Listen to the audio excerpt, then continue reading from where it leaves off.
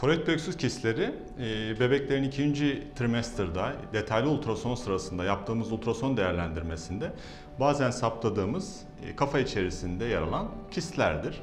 Bunlar korkulduğu kadar önemli, erişkin hayattaki kistler, tümörler gibi bir tedirginlik yaratmamalıdır çiftlerde.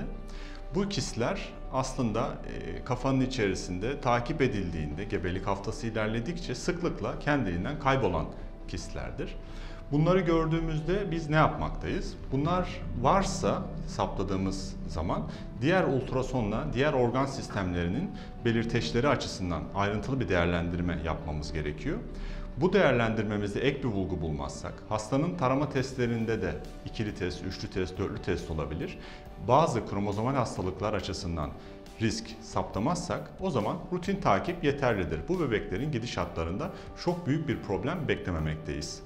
Önemli olan bu tür bir problem sizde izlendiği zaman bu durumda ayrıntılı bir ultrason değerlendirmesinin yapılması, eldeki o zamana kadarki verilerin, tarama testi verilerinin gözden geçirilmesi ve buna göre bir plan çizilmesidir.